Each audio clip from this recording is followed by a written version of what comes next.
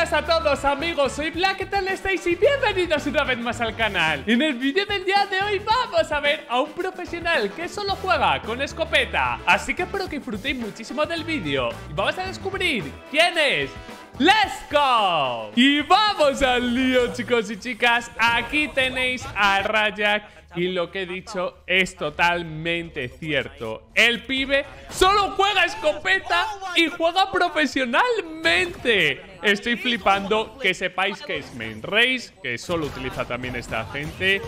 Y el pavo no sé si está queriendo decir a Riot algo o él considera que la Judge es el arma más rota del juego, que por cierto también utiliza la Sorti. Vamos a ver la Sorti con el nerfeo que le ha caído, pero yo estoy alucinando. Juega chicos y chicas para Dominatus, equipo de Indonesia. Y atención, porque aquí vais a flipar, porque me vais a decir, a ver, Black, puede jugar escopeta, tal, quedará de los eh, últimos en la tabla. No, no, no, no, no, queda de los primeros. Con constantemente, como veis, hasta también utilizando la Baki.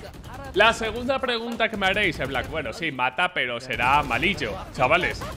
Top 2 de Indonesia.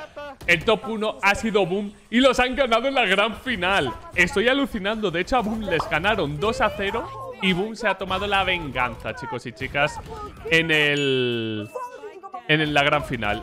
Yo estoy alucinando. Esa para mí es una barbaridad. Eh, Raya que a lo mejor ve algo que el resto no. Pero lo que os comento. a este pibe ya lo había subido al canal. Pero que haya jugado profesionalmente y como veis todo el rato con la escopeta. Estoy alucinando, me parece una barbaridad y es digno, yo creo, de mención. Ah, seguramente un arma que, bueno, Zokar de hecho se ha quejado muchísimo tiempo de, la Jazz, diciendo que era eh, una de las armas más rotas del juego. Y si un pibe se puede pasear en competitivo quedando en de los mejores en clasificación con escopeta, habéis visto, ¿no? Doble C4 y a comer a corta distancia. Claro, eh, tienes una Vandal y, y ¿qué haces contra esto? No puedes hacer absolutamente nada. Es, eh, evidentemente, un arma que solo puedes utilizar con Race por el tipo de apertura que es. Con una Jet dudo mucho que esto salga bien. Y, es que... Yo estoy flipando, tío. Te abre constantemente. Eso sí, como estáis viendo ahora, hay veces en las cuales se ve condicionado a utilizar otro arma. Yo supongo que la Judge la utilizará ah, con el doble C4 y ya si la situación se le complica utilizará otro arma, como veis. Pero que haga todas las entries es, una auténtica barbaridad. Y aquí, como veis, sigue, se la pela todo, absolutamente. Y te venga, pues me meto aquí. Uno de los jugadores más agresivos posiblemente del mundo por utilizar la escopeta. Me parece una, como diría Ferra, barra basada. Encima zoneando, tiene el rocket, se hace una doble. Y ahí, claro, no, no puede hacer mucho más por el tipo de arma que es. Pero wow, hace retake, como acabáis de ver. Él sabe cuándo es su momento, chicos. Eh, mírale, mírale. Acatá, con la Baki, venga, que te pillo. A un operator. El operator ahí, claro, falla el disparo y está automáticamente muerto. aquí el compañero matando con la Ghost. Claro, es que esta ronda era, chicos y chicas, y utiliza el operator también. Es que me descogono. Ay, cómo me mola subiros este tipo de contenido tan random, tío. Supongo que le bajarán el daño según qué distancia, tío. Entiendo que es una escopeta, pero es un arma que... Aunque a ver, si solo se puede abusar de esta forma con Race, ¿opináis que debería cambiar? ¿Que no? Ahí, claro, la fake gastando todas las armas, pues se lo dejan a huevo para que el pibe brille. Vamos a ver cómo... O qué lo que hará Rajak. Equipo de Indonesia, jugador de Indonesia también. Continuará en la Challengers. Qué pena que no vayan a la Ascension, ¿eh? Imaginaros, qué sé yo, que por cierto también Dangwon, el equipo de Lakia, se ha clasificado para la Ascension. Yo creo que Dangwon es el equipo que más nos gustaría a todos ver, ¿no? Por el tema de que está Lakia. Que si no me equivoco fue jugador de eh, o ¿Cómo se llamaba el equipo este que no es eh, DRX, tío? Vale, Vision Striker, que se me había ido la olla y lo he tenido que buscar. Pues eso, chicos y chicas. Lucky era jugador de Vision Striker. Lucky es un jugador muy reconocido en la, en la escena eh, coreana.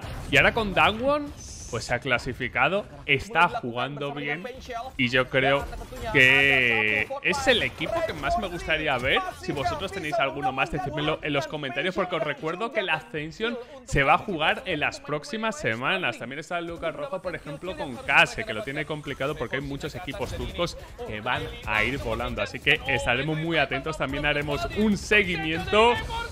Y nada, eh, comentadme, chicos y chicas. La Jax es el arma más rota que hay actualmente en el juego con tanto nerfeo que ha habido. Eh, seguramente lo sea.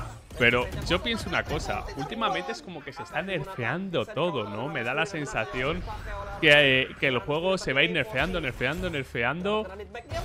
Y no sé si eso es bueno o es malo. Eh, la verdad es que supongo que para mí el arma más rota, tengo que ser honesto, era la Sorti. Eh, que valiese 150 y todo lo que podía hacerse con ella era una absoluta barbaridad. Y, y vamos a ver el Run and Guns y también ha cambiado bastante. Este vídeo lo estoy grabando, por cierto, antes del gran parche. Pero lo dicho, eh, ahora que, que, viene la Masters y a punto de llegar al Mundial, yo creo que el juego, antes de que llegue el Mundial, lo deberían dejar finísimo para que veamos el mejor de los espectáculos. Y una cosa que acabo de pensar, claro, el equipo de, de Rajak se tiene que ver muy condicionado a lo mejor por la raíz del pibe, ¿no? A, lo que me refiero es que solo tienen que, que, jugar... Bueno, ahora que lo pienso, ¿quién juega Race en Pearl? O sea, a lo mejor no. Porque yo estaba pensando, a lo mejor tienen que jugar mapas que son más cortas distancias para aprovechar más a su duelista. Pero claro, acabo de ver Pearl, que supongo que le habrá escogido el enemigo, me cuesta creerlo, pero él se tendrá que adaptar a todo. Es interesante, tío, es interesante. Es que, como digo, es la primera vez que veo algo similar en un Tactical Shooter. Alguien jugando con una puñetera escopeta a todos los mapas. Me deja muchas dudas. A ver si vosotros me las resolvéis en los comentarios. Y con esto, me despido por el vídeo del día de hoy. Espero de corazón que os haya gustado. Y si ha sido así, reventad el botón de like. No olvidéis suscribiros. Y nos vemos mañana con mucho más. Un saludo y hasta la próxima. Chao, chao.